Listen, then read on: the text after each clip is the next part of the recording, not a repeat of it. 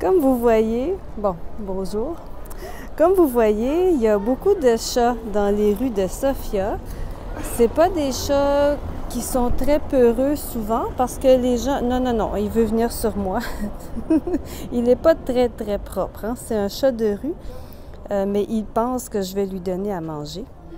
Euh, parce qu'on est devant un resto. Ça, c'est maintenant un restaurant chinois, mais avant, c'était un resto qu'on aimait bien. Ah! Euh, donc, c'est ça. Les gens, souvent les, les, propriétaires ou le personnel des restaurants donnent à manger aux chats. Maintenant, on est à l'heure du souper, donc les restos sont ouverts et ils vont donner à manger aux chats.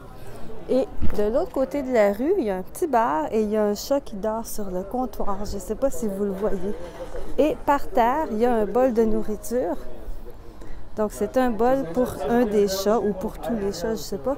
Et regardez le beau chat qui dort au soleil. Allô? Wow, il est vraiment endormi. Pas du tout, du tout peureux. C'est vraiment cool. J'aime beaucoup les chats. Salut